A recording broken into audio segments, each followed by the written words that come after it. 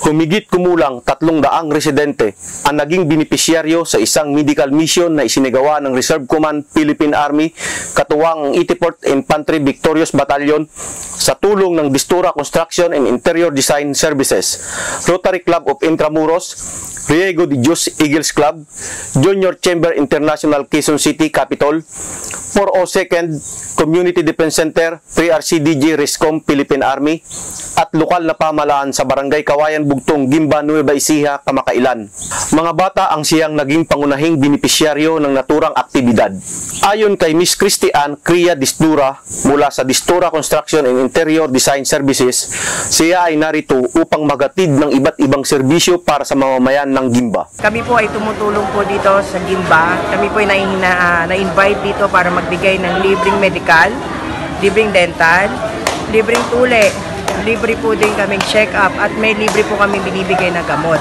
Para sa mga kabataan naman po kami nagbibigay ng school supply at mga laruan at konting ah, tulong para po sa kanilang pag-aaral. Binahagi naman ng Commander ng Reserve Command Philippine Army na si Major General Fernando B. Filipe Philippine Army na siyang nanguna sa isinagawang aktibidad ang mandato mula sa nakakataas na makatulong sa sosyo-ekonomiko para sa kapayapaan ng bansa. Ang ah, RESCOM ay mangunguna sa mga civil military operations nationwide.